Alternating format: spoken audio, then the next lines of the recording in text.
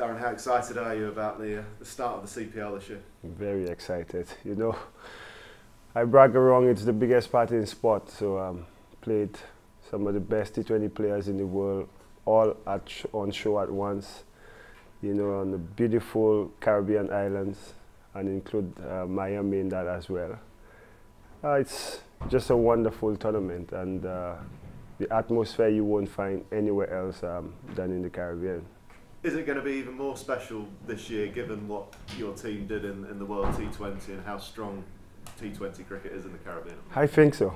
You know, I I believe that uh, with the success of our our T20 teams, both men and women, um, it has created even more interest. And, and, the Caribbean Premier League has always been one that generates uh, interest, excitement, and to now have all those guys from the T20 back on show in the Caribbean. I think that would be the first time that all of us will be back. You know, the Gales, the Bravos, you know, um, Carlos Brathwaite.